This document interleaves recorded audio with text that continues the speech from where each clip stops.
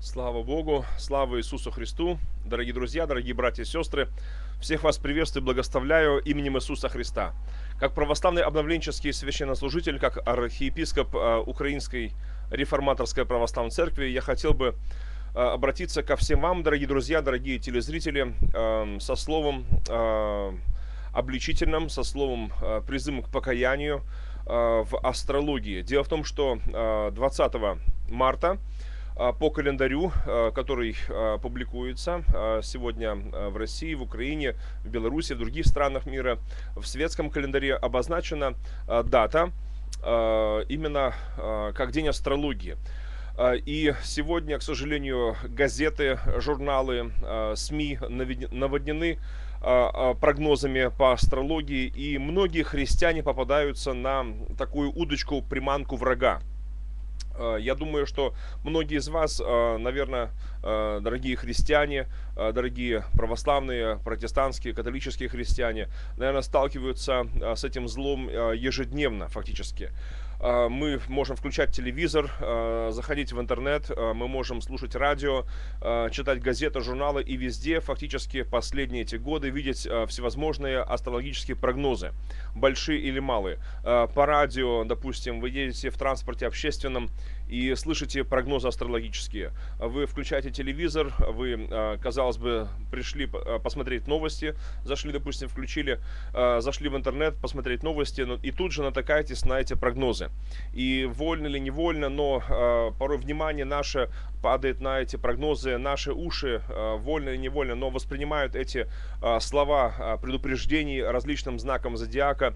И, знаете, эта бесовщина, которая подается сегодня через светские СМИ, она весьма много производит большого зла.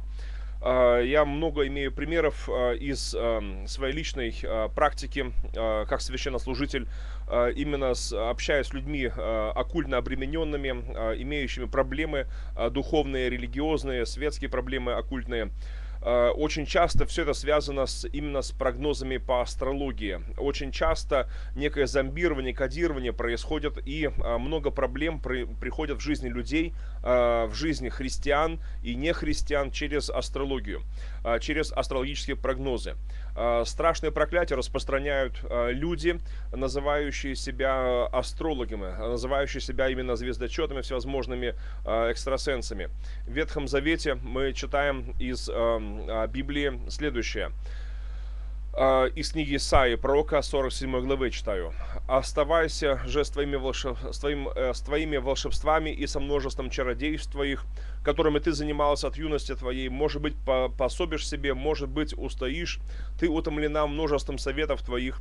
Пусть же выступят наблюдатели небес и звездочеты, и предвещатели по новолуниям, и спасут тебя от того, что должно приключиться тебе. Вот они, как солома, огонь сжег их, не избавили души своей от пламени. А, друзья мои, видите ли, а, здесь Бог устами помазанника своего, а, своего пророка Исаия, Бог говорит, что это как солома. Они сами себя не могут спасти, эти астрологи, их прогнозы для их же жизни, они бестолковые, никчемные, все это сгорит. И так же, как солома, сгорят и эти нечестивцы, распространяющие подобные прогнозы. И те бизнесмены, те владельцы журналов, газет, телерадиокомпании, которые предоставляют эфир для подобных нечестивцев, нечестивых экспериментов, для подобных нечестивых прогнозов, а, подобного кондирования, зомбирования. А, также под страшным проклятием находится выход один – покаяться и звездочетам, и астрологам, экстрасенсам, а, и тем, кто дает им эфир и полосы своих газет и журналов, необходимо покаяться, раскаяться. Я читаю из Писания еще, из книги пророка Иеремии, с 27 главы читаю с 9-10 стихи. «И вы не слушайте своих пророков и своих гадателей, и своих сновидцев, и своих волшебников, и своих звездочетов, которые говорят вам, не будете служить царю Вавилонскому, ибо они пророчествуют вам ложь, чтобы, э, чтобы удалить вас из земли вашей, и чтобы я изгнал вас, и вы погибли». А, также из Иеремии 10 главы. «Так говорит Господь, не учитесь путям язычников и не страшитесь знамений небесных, которые, которых язычники страшатся, из книги, пророка, э, из книги Левит, 19 глава, 31 стих. «К волшебникам не ходите и не доводите себя до сквернения от них. Я Господь Бог ваш». Дорогие друзья, вот эти тексты из Писания очень сильно убеждают нас, верующих. Если вы христиане, то послушайте, пожалуйста, Слово Господне. Уж чему-чему, а Слову Божьему мы должны верить. Хотя некоторые из вас, может быть, уже как бы на крючке у дьявола, и некоторые из вас, может быть, уже строят свою жизнь, свои дни, свои ежедневные всевозможные совещания, встречи, значит, дела домашние, бизнес, дела строят по этим прогнозам астрологическим, то сегодня я просто умоляю вас, как священнослужитель православный, как христианин, я просто умоляю, как проповедник, остановитесь, покайтесь, друзья. Я прочитаю еще кое-что из Библии.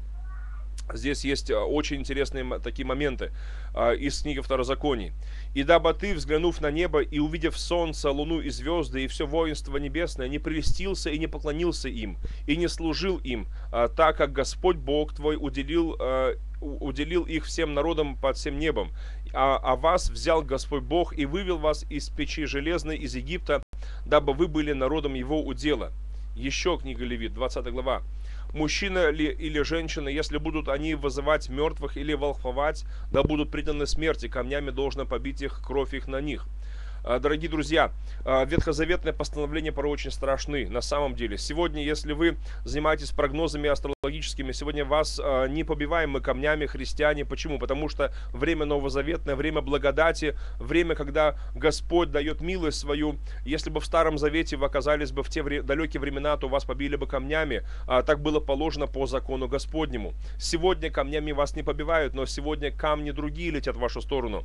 Проклятие всевозможных и многие люди в аду, мучаясь сегодня, они просто проклинают ваши имена. Если вы занимаетесь прогнозами по астрологии, пожалуйста, остановитесь. Я просто умоляю вас, остановитесь. Не идите в ад сами и не ведите за собой в ад в преисподнюю многие-многие души. И э, очень важно э, христианам, сейчас обращаюсь э, к евангельским христианам, э, протестантам, э, православным, э, католикам, к разным верующим, пожалуйста, э, одумайтесь, если вы занимаетесь астрологией, астрологии, если увлекаетесь. Из книги Второзаконий прочитаю также кое-что с 18 главы, э, с 10 стиха и далее. А, не должен находиться у тебя вопрошающий сына своего или дочь свою, проводящий сына своего или дочь свою через огонь, прорицатель, гадатель, ворожея, чародей, обаятель, вызывающий духов, волшебник или вопрошающий мертвых. Ибо мерзок пред Господом всякий, делающий это. Из-за сиита мерзости Господь Бог твой изгоняет их от лица твоего. Будь непорочен пред Господом Богом твоим, ибо народы сии, которых ты изгоняешь, слушают гадателей и прорицателей, а тебе не то дал Господь Бог твой. Аминь. Слава Богу. А, на самом деле у нас есть Слово Господне, Слово Божье, Библия Святая. И обращаясь к Божьему Слову, мы должны а, действительно изменяться в образ Божий. А, мы должны от силы в силу, от славы в славу и переходить и Бога благодарить и славить Его за все. И я призываю сейчас к молитве покаяния. И я перед тем хочу прочесть кое-что еще из святых отцов некоторых, из отцов церкви я прочитаю из э, преподобного Максима Грека. Это один из э, таких обновленцев, что ли, своего времени, э, сочувствующий движению нестяжателей, Нил Сорский, Васям Патрикеев, и э, туда же можно причислить и Максима Грека. Э, так вот, Максим Грек, э, э, он по поводу астрологии писал следующее – как я, созданный по твоему, он обращается к Богу, божественному образу и подобию, то есть удостоен дара свободы воли, получивший силу и действие блага и праведности, неужто я действием своим, действием какой-то недоброй звезды могу быть влеком к совершению зла, как бессловесный скот, которого хозяин, хозяин тащит на привязи? Нет, я никогда не соглашусь с этим богомерзким учением безумных звездочетцев, лишающим меня свободы воли. А, очень хорошо Максим Грех написал это, а, потому как сегодня многие считают себя заложниками этих, знаете ли, а, звезд, совпадений и несовпадений этих звезд. Многие с ужасом ждут предсказаний мая 2012 года. И скажу так, наша судьба зависит не от звезд, не от расположения или не расположения там звезд определенных, а от Господа Бога и нашего выбора, нашей воли. Если мы выбираем жизнь, то благо нам. Если выбираем смерть, то позор нам. Жизнь и смерть Господь предлагает нам. Но Он говорит, выбери жизнь. Зачем тебе умирать? И если даже какой приговор страшный о вас лично есть небо, или о вашей семье проклятие, есть выбор у вас, выберите жизнь. Каким образом? Покайтесь, примите Господа Иисуса Христа. Если вы занимались астрологией, если вы, не, не то, что занимались, но слушались этих прогнозов и свою жизнь каким-то образом строили по этим прогнозам, то сегодня также просто покайтесь. Покайтесь и попросите у Бога прощения. Господь милостив, а, призовите имя Господа Иисуса Христа. Верьте, что э, ни в ком ином нет спасения, кроме Господа Иисуса Христа. Он ведь сам сказал это, это о себе. Он сказал, написано в Евангелии от Иоанна, 14 главе, 6 стих написано, «А, «Я есть путь, истина и жизнь». И он подчеркивает дальше, «И никто не приходит к Отцу, как только лишь через меня, через Иисуса Христа есть доступ а, к престолу Отца Небесного» признайте себя грешником. А мы все несовершенны. Даже если вы не слушались а, никогда этих а, прогнозов по астрологии, даже если вы смеялись там и плевали с высокой колокольни, как говорится, на всю астрологию и прочее, и кажется вам, что сегодняшняя эта программа, она вас никак не касается, то я все равно умоляю вас, признайте себя грешником. Не в этом, так в другом, не в, не в третьем, так в десятом каком-то но мы все несовершенные люди, а, и а, мы с испорченной такой человеческой природой все а, пред Богом. Э, и по сути нет праведного ни одного написано. Все согрешили и лишены славы Божьей. Но есть оправдание в Иисусе Христе, есть оправдание даром, по благодати, даром. Это для нас даром, хотя это вообще-то не даром. За это заплачена страшная великая цена. Сам Иисус Христос пролил свою кровь за всех нас. Сам Иисус Христос отдал свою жизнь за нас. И э, надо уверовать в это, уверовать в то, что Иисус Христос, Он не просто умер за всех нас, Он умер лично за тебя и за меня, за каждого из нас в отдельности. И призовите Его святое имя, обратитесь к Нему, читайте Божье Слово, Библию. Давайте помолимся сейчас. А, прямо сейчас скажите Богу такие слова, а, обращаясь к Нему как к своему к небесному Отцу, обращаясь как к Создателю, к Творцу, э, к э, Творцу неба и земли, звезд, луны, солнца, всего-всего-всего, и вашей судьбы, вашей жизни. Обратитесь к Нему и скажите так, Отец Небесный, обратитесь к Нему, скажите, Бог Святой, Отец Небесный, Творец неба и земли, прихожу к Тебе во имя Сына Твоего Иисуса Христа.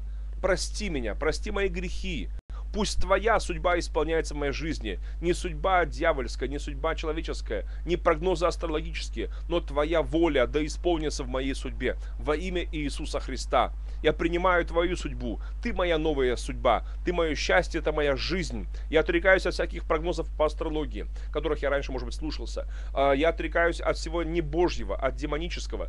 Можете а, перечислить а, всевозможные грехи, проблемы, которые вас гнетут. Скажите, во имя Иисуса Христа я отрекаюсь от дьявола, отрекаюсь от всех его бесов, от проклятий, беззаконий, грехов, болезней, нищеты во имя Иисуса Христа. Призовите имя Господа Иисуса скажите, Иисус Христос, Ты мой Спаситель, Ты мой Господь, живи в моем сердце всегда-всегда. Царствуй во мне, открой мне Библию святую, пусть Божье Слово Твое, Библия святая, руководит мною по жизни во имя Иисуса Христа. Благослови меня, Господь, и пусть Твоя воля исполняется в моей судьбе всегда-всегда.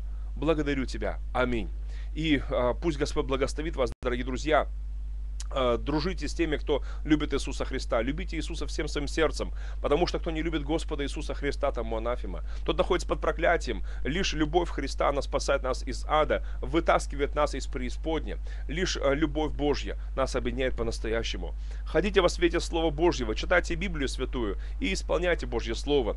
Изменяйтесь от силы в силу, от славы в славу. И никакие звезды над вами не имеют власти, только Господь Иисус Христос. А, и никакие прогнозы по астрологии над вами не сбудутся. Никакие прогнозы а, всевозможных гадалок не, сбудутся. А, если вы будете крепко держаться любви Божьей, любви Иисуса Христа. Слава Богу, слава Иисусу Христу. Пусть Бог благословит вас.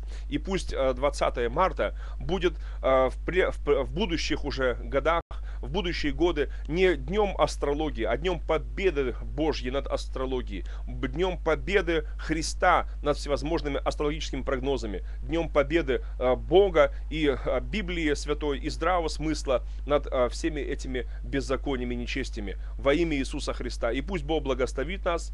Аминь. Мир Божий всем вам. Шалом. Мир вам.